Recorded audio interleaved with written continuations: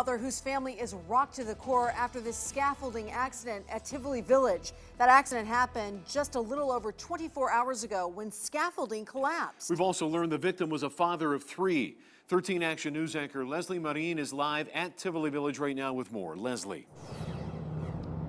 Trisha, Steve, it was at this construction site right here where Ricardo Bautista had worked on scaffolding for the last several months. Now, we're told yesterday was supposed to be his day off. Instead, he still came in and it ended in tragedy. I said, just take the day off.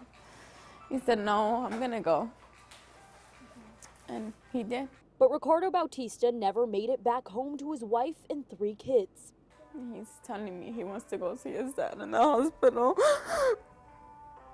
Jacqueline has a hard time talking as her brother remembers the last words he said to the hardworking father. I want to be careful because I, I work there. Investigators say a few hours into Ricardo's shift, the scaffolding the labor worker was on collapsed. Fire crews rushed to the site but couldn't help him.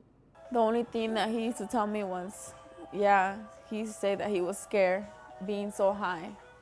And I told him, you should find another job. He's like, he's like, this is the only job that I think that pays the most. Money, Jacqueline says, only went to one thing their three boys. He said he wanted to give his kids something he didn't have. That's why he was always working.